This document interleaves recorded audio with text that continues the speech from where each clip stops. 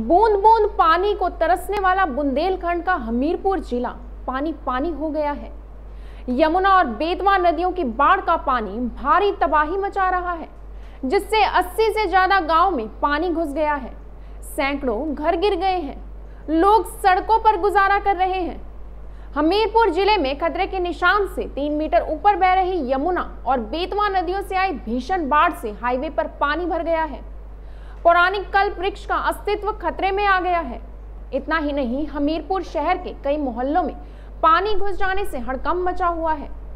जिला प्रशासन pump set लगाकर शहर में घुसे पानी को निकालने की कवायद में जुटा हुआ है।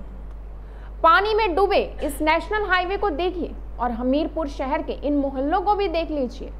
कैसे पानी में डूबे शहर में नावें चल रही हैं। अब इस ऐतिहासिक पौराणिक कल्प वृक्ष को भी देख लीजिए। यमुना नदी की बाढ़ से हो रही कटान से कल्प वृक्ष का वजूद खतरे में पड़ गया है।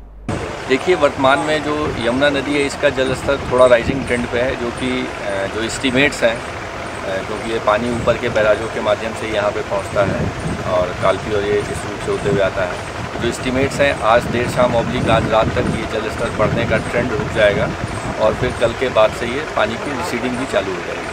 इन्हीं सब चीज़ों को देखते हुए जिन जगहों पर पानी का जलस्तर बढ़ा हुआ है या जिन घरों तक पानी आने की संभावना है राइजिंग ट्रेंड को देखते हुए, इनका इवेक्यूएशन वर्क पहले से सुनिश्चित किया जा चुका है। साथ ही साथ रिलीफ कैंप्स भी एक्टिव वहाँ पर खाने की चीज़ें रिलीफ की अन्य जो राहत की जो सामग्री है, वो सब सुनिश्चित की जा रही है। मेडिकल फैसिलिटी सुनिश्चित की गई है और साफ़ सफ़ाई की व्यवस्था सुनिश्चित की गई जहाँ तक कटान की बात है, कटान कहीं पर भी नहीं है। और वर्तमान में जो बंद है, इन बंदों को स्ट्रेंथनिंग का काम किया जाता है एक प्रिकॉशनरी वर्क की तहत में जो कि यहाँ पे यमुना के सीसी बंद पे और साथ ही साथ बेतवा के बीबी बंद पे भी किया जा रहा है। और साथ ही साथ जो बैक वाटर्स है, इसको लिफ्टिंग वर्क आपने देखा होगा यहाँ पे मोटर्स चल रहे हैं। उन मोटर्स के माध्यम से जो बैक वाटर का पानी होता है, उसको वापस भेजा जाता है, ताकि कहीं भी कोई दिक्कत ना आए। अगर तुम्हारे दो लिफ्टर नहीं चल रहे होंगे, तुम हो गए आज ही सकते समझ गए? JBD Banquets lie hain incredible marriage palace Rajgharana and the finest banquet hall Jyoti Garden.